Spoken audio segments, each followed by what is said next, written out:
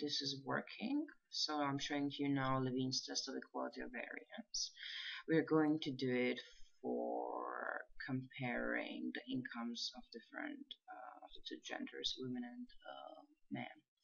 So you go first to analyze, compare means, then independent sample t-test. Okay.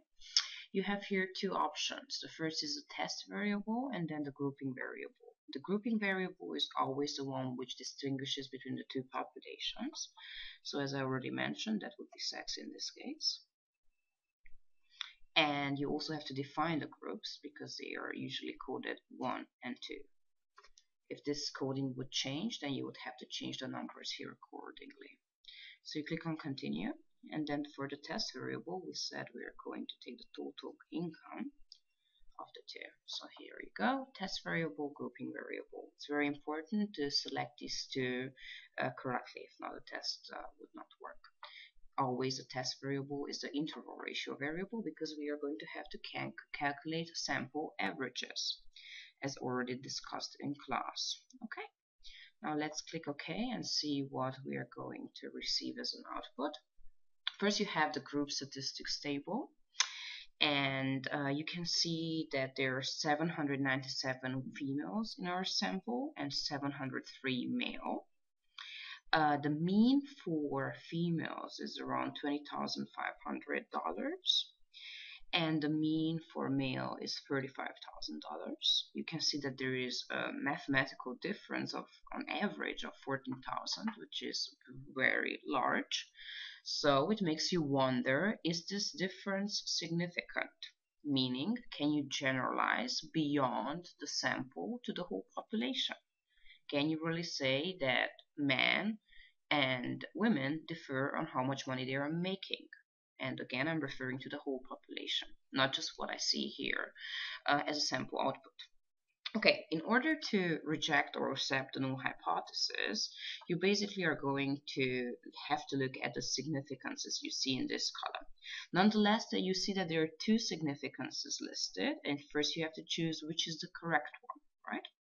If the significance is less than 0.05, you can reject the null hypothesis. That would tell you that there's no difference between how much money female or male are making. So whatever you see this difference here occurred due to random chance, maybe a sampling error, and is not significant.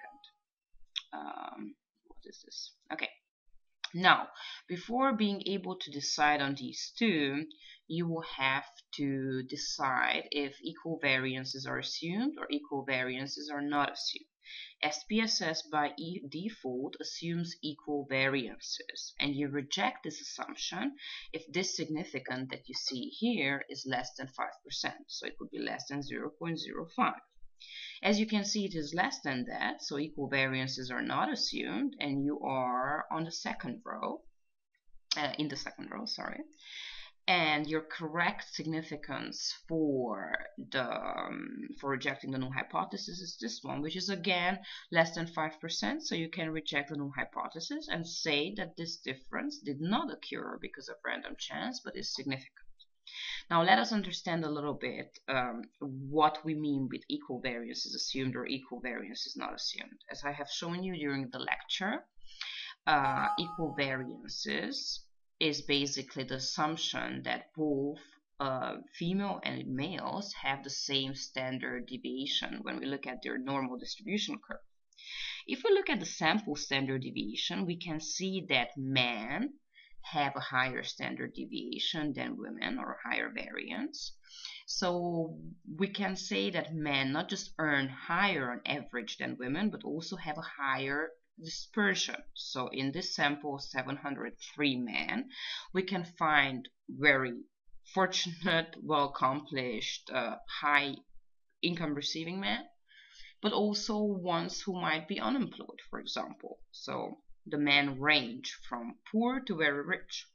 For women, uh, on average, they earn less than men, much less but the dispersion among women is also lower. So this means that you will not find huge discrepancies among those 797 women, uh, which is not necessarily a good thing because you will not find very accomplished women.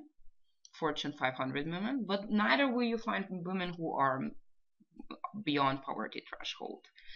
So based on this, we would assume that equal variances are not assumed. However, you can uh, be sure of this assumption only after you rejected the first assumption of equal variances, which we did because the significance here is less than 5%.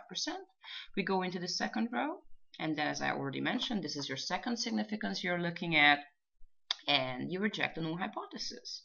You can say that the population of men and women is distinct when it comes to how much money they are making. And that's all. Thank you. Hopefully this was clear.